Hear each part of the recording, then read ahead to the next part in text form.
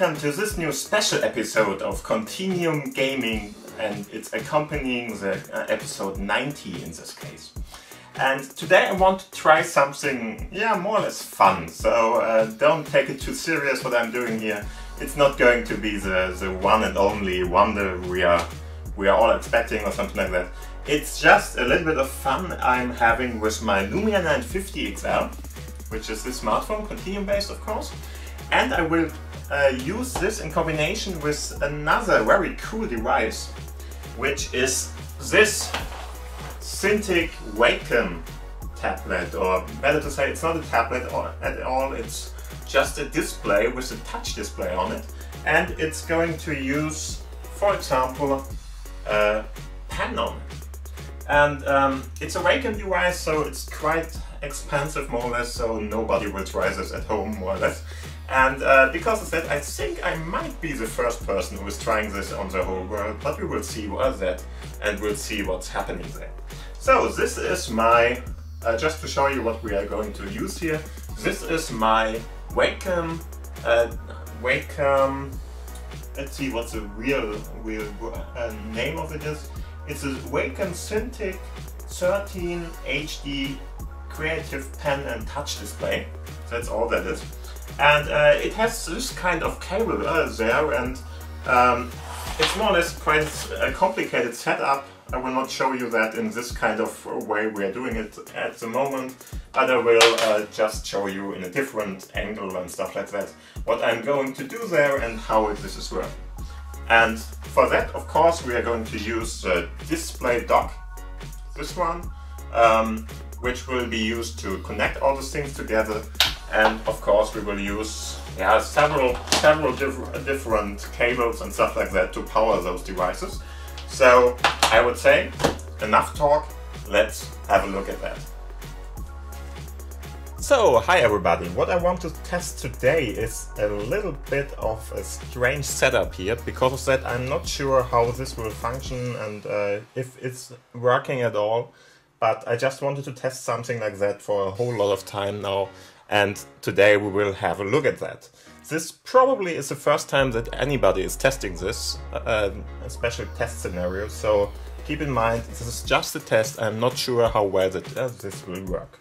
So, uh, what I want to test here is I will just test to connect my Lumia 950 XL, which is a, a continuum device um, with a Mozo cover on the back, uh, with my Wacom Cintiq.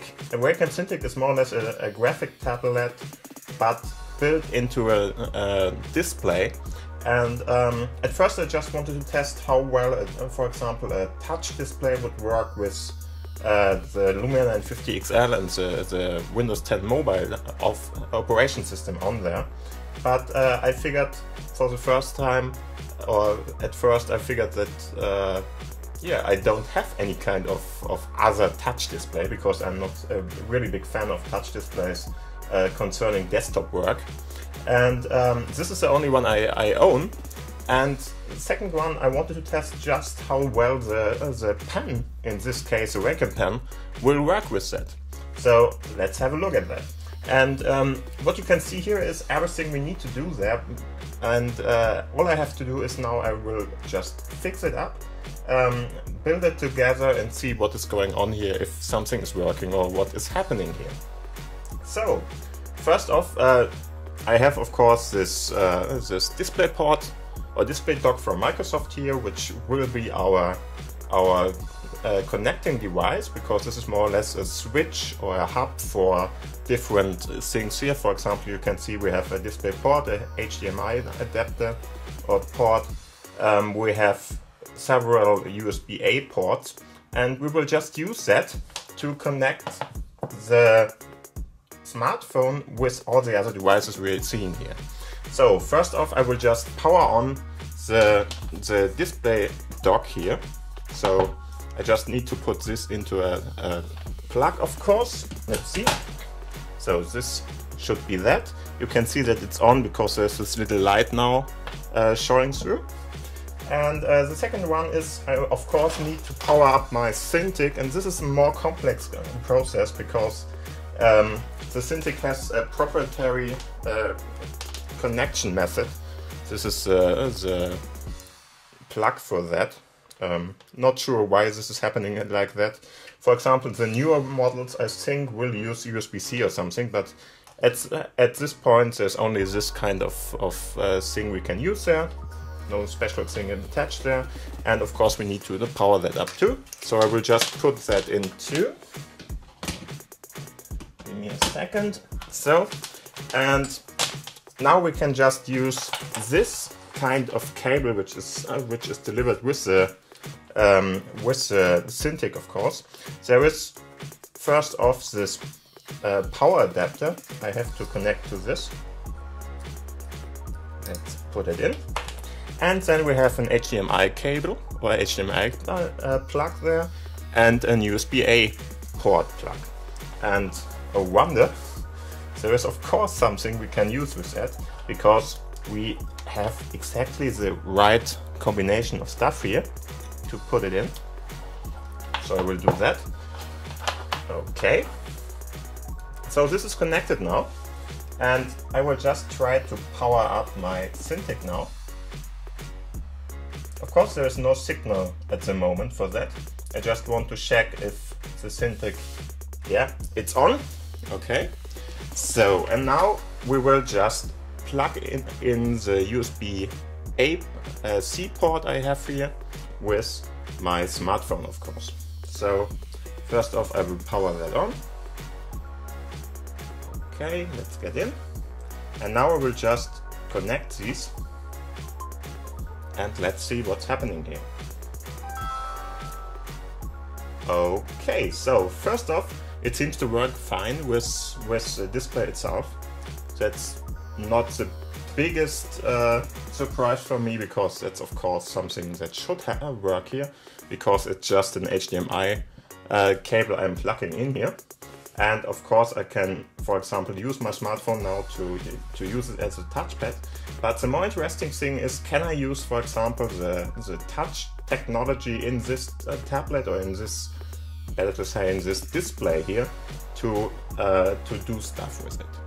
And for that, I think I will just uh, try to uh, set up the camera in a different ang angle because you, I think you don't see much of the display there on this part.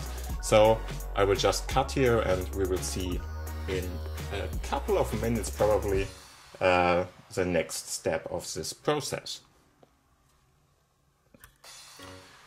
So, and there we are again. And now we'll just have a look at what's happening here. So of course we can just uh, move our mouse around by using the touchpad on our uh, Lumia 950 XL now. But now let's see if, uh, if my finger can be used too on the display itself. So, and as you can see, it seems to be working. That's quite cool because now I have more or less uh, extension of this little screen to this screen and I still can use my touch device uh, stuff, um, scroll through everything here and it really is looking like it's working pretty well. Um, there's one thing I, I noticed now is that for example, if I for, uh, try to type something in, I don't get a big screen uh, keyboard or something like that, but I'm still on this as you can see. Um, that's fine, I guess. Would be a little bit cooler if it would be able to, to show it here too, but whatever, does work in any kind of way. And what I now want to test is I have installed Malen and Bleistift, which is more or less painting and, and pen or something like that. And um, because of that, I want to have a look at if this is working too. So Let's have a look at that. Go to Malen and Bleistift now. And yeah, there we are. This is just uh, some kind of a painting app I'm using here. And now I will just uh, try to use this pen with it. I just to let you know, I don't think it's going to work. Yeah, I already see that it's not really what I'm looking for here. As you can see, uh, the the mouse pointer is not where my my um, pen is, and this is more or less a driver issue. So um, because in general, if you are using, a, uh, for example, a twin uh, display system like this is more or less because the smartphone is one system, uh, one display there and the other one is the desktop there um, or the display there. Um, this is just comment that it will not work like that because uh, there is a driver missing from Wacom to handle that kind of stuff. Um, I already know that from my PC, for example, and uh, my PC has the same problem if I'm not installing the proprietary drivers from Wacom. Um, because of that, I'm not able to use this especially exactly like I wanted. As you can see, it's really working to move the mouse. That's not a problem. But what it can't do is, for example, uh, put it somewhere very precisely or something like that. So this is a little bit of a letdown here. As you can see, I can paint with it. And what I can see is that it's not using yeah, it's not using uh, pressure intensity or something like that, uh, neither. So this is just a driver thing, and uh, the interesting part is that this has more or less the same drivers as my Windows desktop PC, because everything I'm I'm limited with here is exactly the same uh, that I would be limited with uh, without the software from Wacom. So if Wacom would have software for Windows 10 Mobile to install there, everything would work here. But since that is not the case here, I'm probably not going to use that um, for that kind of part. Of course, I can just use my finger and paint with that on a bigger screen now, which is a nice thing to have. And of course, I can use other colors here too, paint with that stuff, with my finger then, of course. So now it's more or less like a big tablet or something just with my smartphone and the Cintiq device. And uh, this is quite a fun little thing to do, but it's really not what I was looking for here. So that's a little bit uh, disappointing, but still a cool thing that this is working as well as it does, because uh, in the end I was not convinced that it would work at all with uh, having the drivers here and all the input devices in this device and going uh, through my the whole cable setup I'm having here to my smartphone and back. But this is very lag free. I can uh, tell that. Yeah, it's really lag free and it's really working very, very nicely. And of course I can, for example, uh, use my, my whole screen here as I want to. Uh, what I see here is that, uh, that it's already telling me that there might be something going on and something is wrong with this USB uh, device, so because there is no driver available. But as you can see, in the end I'm able to use this.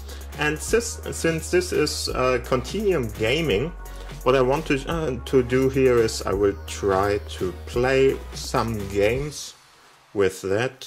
Don't know, what should we try? Why not? Let's try Street Storm.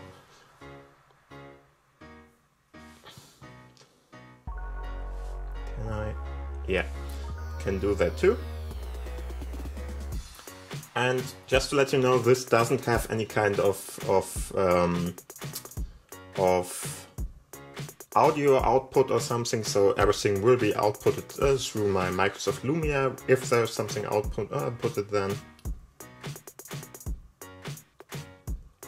Might need a little bit to work, of course.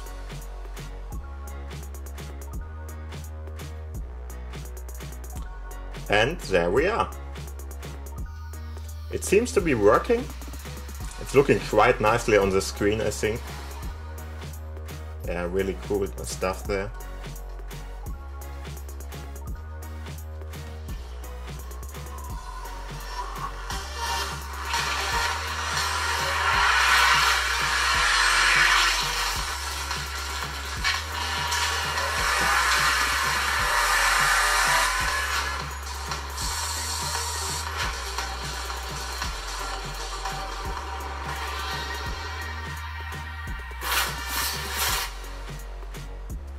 Rule Repeat Asphalt Street Storm.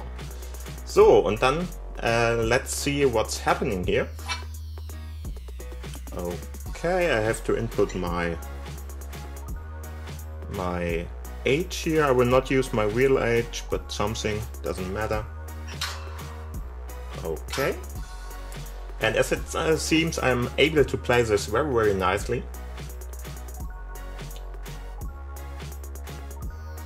Finger input and stuff like that is, is working as it should. And the good thing about it is that if this is working, it's very, very likely that any other kind of touch display or something like that will work too. Because this is no uh, kind of, of special technology and the drivers are all the, are the default ones of Windows here. So looks like it's uh, going to work very, very nicely.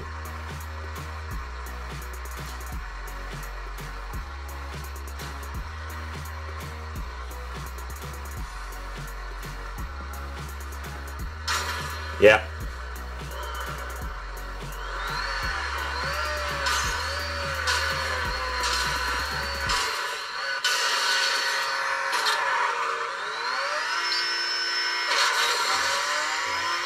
Yeah, and it's really working cool. And exactly as it should. Cool stuff. I really like that. So in the end, you can use, for example, this kind of device with your smartphone just to make a bigger kind of smartphone, more or less, or a tablet out of it. Very, very nice.